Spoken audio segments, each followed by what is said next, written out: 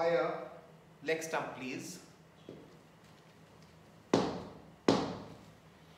Hello children, today I will tell you about the grip. The grip which we hold playing this beautiful game called cricket. If you don't hold the grip properly of the bat, then you'll always struggle with your batting. So we start off with, you see the V, the V's of your hands. This, this is considered the V of your hand. And this is the V, you know, you see the strip coming down? So this is the V of the bat. So the traditional grip is first you take the V of the left hand and place it on the bat and then you take the V of the right hand and place it onto the bat. So this way, according to your stance, you get a straight bat, then your wrist, wrist comes into play and you get a straight bat which basically comes according to the V's of your hands. Again, there are various grips. You see, you can, your left hand can be gripped down this side which a lot of Indian cricketers do, and they grip this with a complete bottom hand so that they play a lot of glances.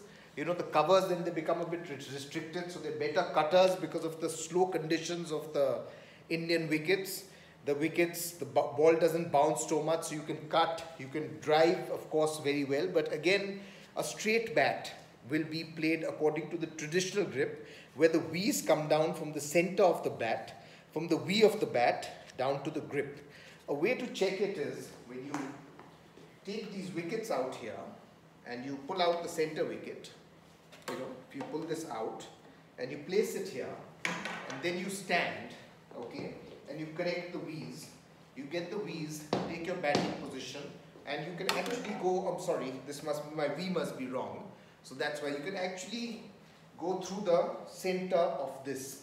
You see, when you when you go through the center of this very comfortably, you know, that's when you know that your V is right. You know, so, so that's one way of checking it. So I would suggest that you, according to your stance, you get your grip correct.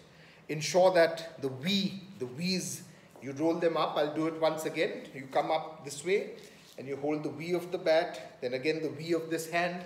And according to your, your sort of the way you bat, according to the way you stand, whether you're straight bat, so then your left hand, your left hand V is very important because if you want to bat according to the traditional grip, then you've got to come down with the V of the left hand and then hold the V of the right hand. So you'll always be straight.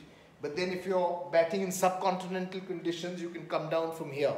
You can get the left hand here and then you get the, the V of the right hand right. So accordingly, then you can glance better, you can also cover drive better, but again your bat will then come a bit, you know, since your hand is here, it will come a bit from the outside.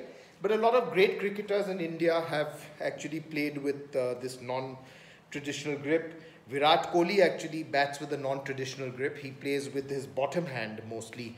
He covers his bottom hand very much inside, so he gets a lot of his bottom hand. We'll be, as we go along, we'll, I'll be explaining what bottom hand and top hand and etc. works out with. Anyway, I hope you're enjoying this uh, time at, the, at home. Please ensure what I told you, practice with these wickets. Try to uh, sort of, you know, get the bat between them so your V's are correct. I'll end by telling you a short story.